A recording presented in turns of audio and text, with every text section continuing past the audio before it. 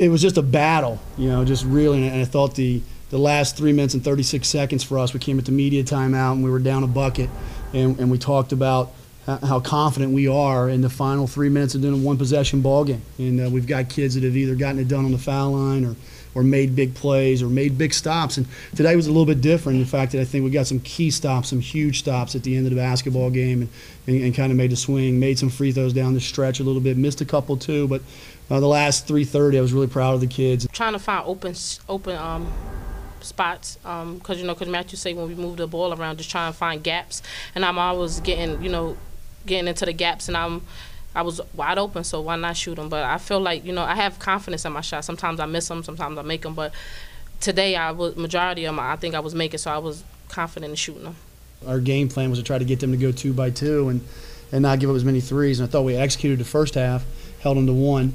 Um, you know, but when you do that, you open some other things up. So there was times that there's wide open drives down the lane that I cringe at. I know they cringe at. The crowd probably cringes at.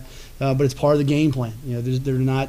We just didn't believe they could make enough twos to beat us. We definitely had like a lot of confidence in each other. Um, Northeast they played hard the whole time. It came down to wanted more at the end. Just we just really wanted this win. So the game plan was to uh, play inside more, and so they were just looking for me, and you just kept getting fouled, and it worked.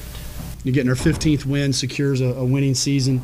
Um, it's the fifth time in six years, last six years, that the program's had a winning regular season, and, and that's a culture we're trying to have. So we're very proud of the fact that we've been able to, to do that and accomplish that. So it's a credit to these guys. We quickly say it's not what the goal is for this year. Uh, just have a winning season is not the goal.